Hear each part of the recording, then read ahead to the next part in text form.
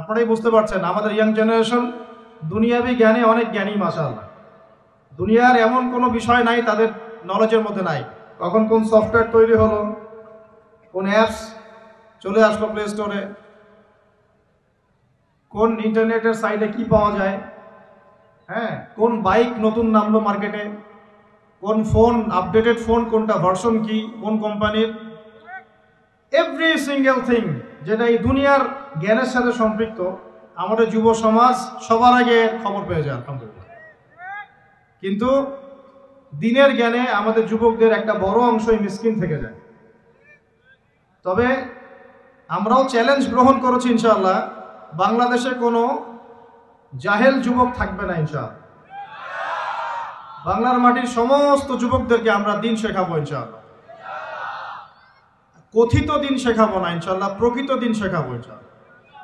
কথিত দিন আর প্রকৃত দিন কি? কথিত ইসলাম হচ্ছে সেই ইসলাম, যে ইসলাম পালন করলে কোনোদিনও আপনাকে একটা গালিও খেতে হবে না। এটা হলো কথিত ইসলাম। সুরসুরি মার্কা, গোলালু মার্কা, সব তরকারিতেই চলে। এরকম ইসলাম না নবী সাল আলী হাসাল্লাম পালন করেছেন আর না সাহাবিরা পালন করেছেন। আমাদের নবীজিকে মানুষ সারা জীবনে পনেরোটা গালি দিয়েছে। কয়টা গালি? নবী সাল আলী হাসাল্লামের চেয়ে ভদ্র কোনো মানুষ আছে? নম্র কোনো মানুষ হয়? তিনি পুরো মানব জাতির জন্য নিজের জীবনটা বিলিয়ে দিলেন। নবী হওয়ার পরে শান্তিতে ঘুমাতেনও না। রাতের একটা অল্প অংশ ঘুমাতেন, আবার উঠে নামাজ পড়তেন। উম্মতের জন্য অবর্ণনীয় কষ্ট সহ্য করেছে। সেই মানুষটাকে মানুষ কেন পনেরোটা গালি দিল? কারণ তিনি এমন একটা ইসলাম প্রচলিত জাহিলিয়াতের বিরুদ্ধে এমন এক ইসলামের কথা বলেছিলেন, যে ইসলামে শুধু সৎ কাজে আদেশ ছিল না, অসৎ কাজে নিষেধও ছিল। কথা কি বুঝতে পারছেন? যে ইসলাম শুধুমাত্র সৎ কাজে আদেশ করত না, অসৎ কাজে নিষেধও করত। তো এখন দেখা যায়, আমরা মাশাল্লাহ নামাজ, রোজা, হজ জাকাত করি তাজমি তাহালিল করি, দাড়ি টুপি রেখে ঘুরে বেড়াই, মনে করি যে আমরা প্রকৃত ইসলাম ফলো করছি। কোনো কোনো ক্ষেত্রে এই বিষয়টা সঠিক নয়। আপনি নামাজের দাওয়াত দিলে কেউ আপনাকে কিছু বলবে না। রোজা, হজ জাকাত জিকির, আজগার তাসবির তাহালিলের দাওয়াত দিলে কেউ কিছু বলবে না।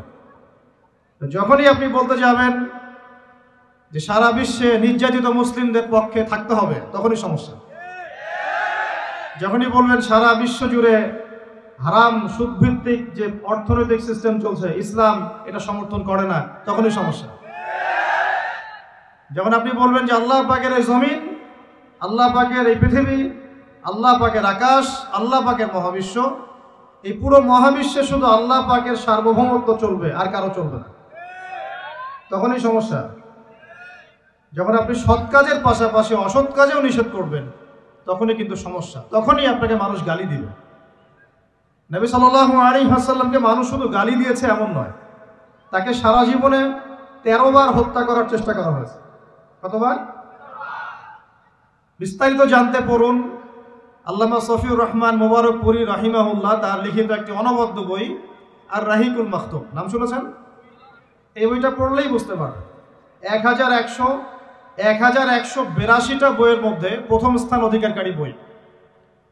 আর আমি যদি কোনো কিছুকে রেফার করি, আমি অলওয়েজ ট্রাই করি সবচেয়ে বেস্ট আপনাদেরকে বলার জন্য। অনেক সিরাতের বই আছে, আমি সেগুলোর নাম কিন্তু বলিনি। এটার নাম কেন বললাম? কারণ এটা হচ্ছে এক হাজার একশো বিরাশিটা বইয়ের মধ্যে প্রথম স্থান অধিকারকারী বই। পড়ে দেখতে পারেন।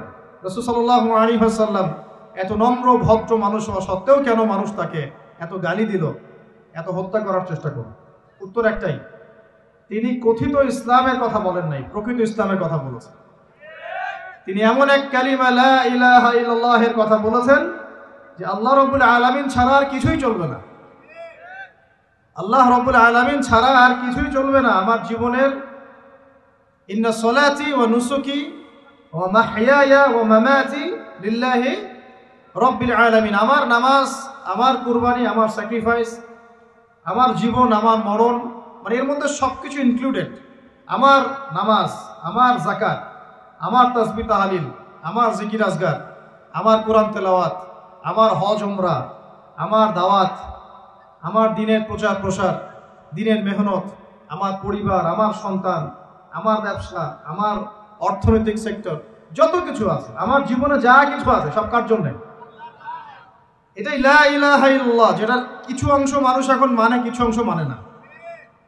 দেখবেন? রাগ না করলে দেখাই। বহু মানুষ আছেন, এই রমজান মাসেই ব্যবসা করবেন, তারাবিও করবেন, ব্যবসাও করবেন, রোজাও রাখবেন। কিন্তু রোজা রেখেও আপনারা মাপে কম দিবেন। এমন ব্যবসায় নাই? পণ্যে ভেজাল দিবেন। টাটকা পণ্য বলে বাসি খাওয়াই দিবেন। তিন দিনের বাসি তেল দিয়ে রান্না করে বলবেন টাটকা, ফ্রেশ। বহু মানুষ আছে এরকম। এদের সংখ্যা কিন্তু কম নয়, আমাদের সমাজেই তারা থাকেন কিন্তু তারা কিন্তু রোজাও রাখবে, আবার তারাবির নামাজও পড়বে। এখন তার মানে তার চিন্তা ভাবনা কেমন? তার চিন্তা ভাবনা হচ্ছে, লা ইলাহা ইল্লাল্লাহ মুহাম্মদ রসুল্লাহ মসজিদে আছে, ব্যবসায়িক ক্ষেত্রে নাই। এটা কি ঠিক? নাকি লা ইলাহা ইল্লাল্লাহ সবখানে থাকবে? বহু মানুষ দেখা যায় মসজিদে পাঁচ ওয়াক্ত নামাজ পড়েন, মসজিদে নামাজ পড়েন, কপালে সেজদার দাগ আছে। পায়ের মধ্যে সেজদার দাগ আছে। এমন অনেক মানুষই নামাজও পড়েন কিন্তু অর্থনৈতিক জীবনে আবার সুদও খান। আছে কি নাই? এক্স ওয়াইডেড যে কেউ হতে পারে। যে কেউ হতে পারে। এখানে তার থিঙ্কিংসটা কি? তার আদর্শ দর্শনটা কি? তার ফিলোসফি কি? তার দর্শন হচ্ছে, লা ইলাহা ইল্লাল্লাহ মসজিদে আছে। আমার চাকুরি এবং ইকোনমিক সেকশনে লা ইলাহা ইল্লাল্লাহর পরোয়া করি না আমি নাউজুবিল্লাহ আবার বহু মানুষ সমাজের মধ্যে কাজ করেন এখানে তারা লা ইলাহা ইল্লাল্লাহকে পাত্তা দিচ্ছেন না। নিজের মনে যেটা ভালো মনে হয় সেটাই করছেন, নিজের মনে যেটা খারাপ মনে হয় সেটাই করছেন। তো ভালো, খারাপ, ন্যায়, অন্যায়, হক, বাতিল, চূড়ান্ত করবে কে? আল্লাহবাক যেটাকে ন্যায় বলেছেন সেটাই ন্যায়। আল্লাহবাক যেটাকে অন্যায় বলেছেন সেটাই অন্যায়। আল্লাহ যেটাকে হক বলবেন সেটাই হক। আল্লাহ যেটাকে বাতিল বলবেন সেটাই কি? এই বিষয়টা কি মানতে আমাদের আপত্তি আছে? পশ্চিমা সভ্যতার অনেক মানুষ বলে যে সমকামিতা ভালো জিনিস। সমকামিতা কি? ওরা বলে ব্যক্তি স্বাধীনতা। একজন ব্যক্তির এখতিয়ার স্বাধীনতা। সে ছেলেকে বিয়ে করতে পারে, মেয়েকেও বিয়ে করতে পারে। কোরআন কি বলছে? কোরআন বলছে এটা এত জঘন্য পাপ যে পাপের কারণে আল্লাহ একটা কমকে আকাশে উঠিয়ে পাথর বর্ষণ করে জমিনে দখল করে দিয়েছে। কম এলুত তাহলে মানুষের চিন্তা আল্লাহ পাকের ওহির মধ্যে পার্থক্য হলো না? পার্থক্য হলো কিনা তাহলে এখন ন্যায় অন্যায় হক বাতিল কে ফিক্স করবে? আমি নাকি আল্লাহ রবুল আলমী বহু মানুষ মাদক দ্রব্যটাকে অনেকে হালাল মনে করে খায়, হালাল মনে করে। আবার অনেকে খায়, কিন্তু এটা যে বড় মাপের কবিরা গুণা এটা সে বিশ্বাস করে না, চিন্তা করে না। তো মাদক হালাল না হারাম, ভালো না মন্দ, এই ডিসিশন কে নিবে? আমি না আল্লাহ? অনেকে জেনা করি নাউজবিল্লা ফ্রি মিক্সিং এর মধ্যেও জেনা হয়, ছেলে মেয়েদের সাথে অবাধে জেনা হয়। এই যুগটা কিন্তু জেনারই যুগ। এখন জেনাকে উস্কে দেওয়া হচ্ছে। এখন তো দেখলাম যে ধর্ষকদের গ্যাং বের হয়েছে। গ্যাং, এরা মেয়েদেরকে টার্গেট করে করে ধর্ষণ করে।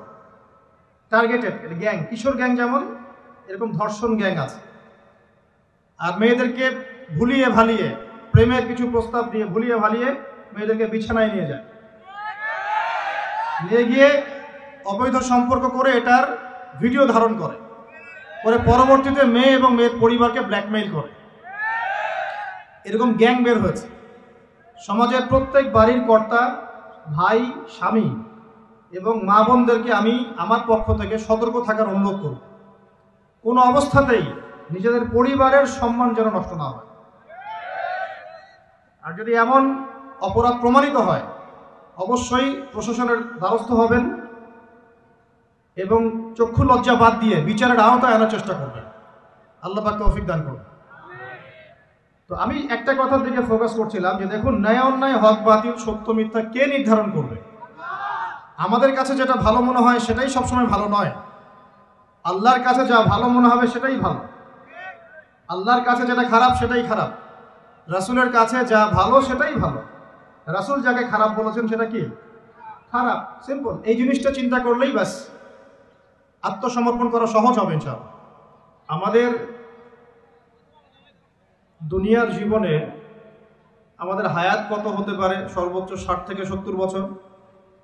অথবা একশো বছর, তাই তো? আমাদের এই পুরো হায়াতের মধ্যে সবচেয়ে গুরুত্বপূর্ণ সময় কোনটা, বলেন তো দেখি। কোন সময়? যৌবনকাল। আমাদের হায়াত আগেকার উম্মতের হায়াতের চেয়ে অনেক কম। আগেকার উম্মত কেউ কেউ এক হাজার বছর, দুই হাজার বছর, পাঁচশো বছর, সাতশো বছর, আটশো বছর এমন বেঁচে থাকত। নূহ আলিহিসাল্লাম শুধুমাত্র নয়শো পঞ্চাশ বছর মানুষকে দাওয়াতি দিয়েছেন বলেন সুহান শুধুমাত্র নয়শো পঞ্চাশ বছর মানুষকে দিনের দাওয়াতি দিয়েছেন কোন নূহ ইসলাম আর বনু ইসরায়েলের লোকজন কেউ হাজার বছর পর্যন্ত বেঁচে থাকতো।